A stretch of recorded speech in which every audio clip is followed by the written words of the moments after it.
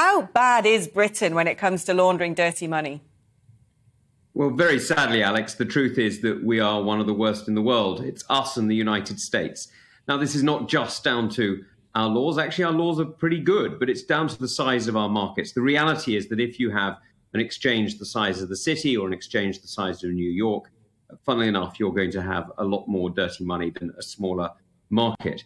Now, this doesn't mean there's nothing we can do about it. There's plenty we can do about it, but we need to resource our law enforcement agencies properly.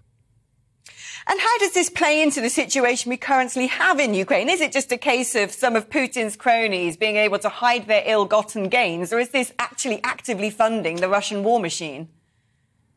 Well, some of it is, as you say, hiding ill gotten gains. There's this money stolen off the Russian people. Uh, let's not forget the first victims of the Putin regime are the Russian people themselves. And that money is stolen and then hidden in apartments and estate agents, or through estate agents rather, in the UK and around the world. That's part of it. But also, some of it is then used, it's effectively cleaned, if you like, in the London laundromat. And it's then used to undermine British security around the world. To, for example, uh, launch attacks on the uh, Prime Minister of Montenegro or to spread disinformation in Germany, or even here in the UK uh, to fund operations like the attempted murder of the Skripals using chemical weapons in Salisbury or using nuclear chemicals here in London. And the government have announced the Economic Crime Act in April this year, triggered, no doubt, by the invasion of Ukraine. But does that have enough teeth to bite where it matters?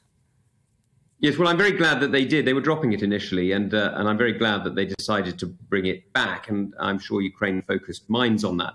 But this isn't just about Ukraine. You know, this isn't just about the Ukrainian people. And you know, we're absolutely right to be standing with them. And I'm very glad that the government have done the sanctions that they've done. Those are really important. But this is actually about the British people. Alex, look, the reality is that corruption in the city, in uh, estate agencies, in, in, in the law in the UK, or rather the, the, the, the handling of dirty money, spreads a corruption that is bad for all of us. Not only does it inflate house prices, it undermines trust and it erodes confidence in our democratic and legal systems. So it's really important for the British people, for us, for you, for me, and for our friends and neighbours that we sort this out. This isn't about Ukraine. It's not about Eastern Europe. It's not even about Russia. It's about keeping ourselves safe.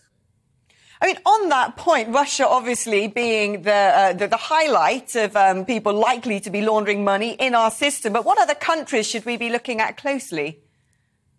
Well, very sadly, there are several Central Asian republics. There are also uh, Ukraine itself, up until uh, Zelensky uh, and even sadly, some of the oligarchs still active, or at least were active uh, in Ukraine up until about a year or so ago, uh, were using uh, London. And we also know, of course, of China, where the red princes of the Communist Party, all is not quite equal there, uh, were also stealing millions and millions of dollars off the Chinese people and hand, hiding it in various jurisdictions. So this isn't just about Russia, it's also about corruption around the world.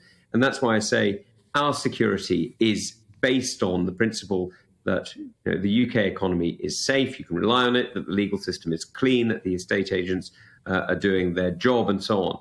And so, closing down these illegal sources of funds, closing down this criminality is absolutely essential, not just for making sure that we dissuade bad actors abroad, but in order to protect ourselves here at home. Do we also perhaps need to be looking at the underbelly of lobbyists and law firms and spin doctors shilling for these kleptocrats? Yes, I'm afraid you're right there too, Alex. The, the, the tragedy is there are many people who, uh, forgive me, but yours and my profession have formerly employed people that you and I probably know who have made decisions that, frankly, are extremely unsavory. And the United States deals with this in various different ways, including uh, a Foreign Agents Registration Act, which, as you know, I support very strongly. The idea that you should be allowed to silently lobby for a dictatorship like China, for example, I think is grossly wrong.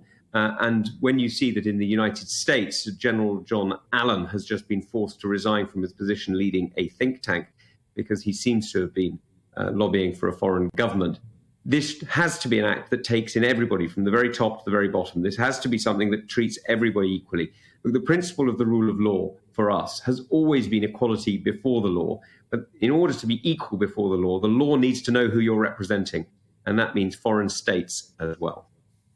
And when it comes to vulnerability of politics, is there a risk that some of these ne'er-do-wells are actually getting undue influence over political parties through donations? Well, there is always that danger, isn't there? And, and recently, you'll remember, Alex, there was that story of uh, the Chinese agent who MI5 was so worried about that uh, they made her name public.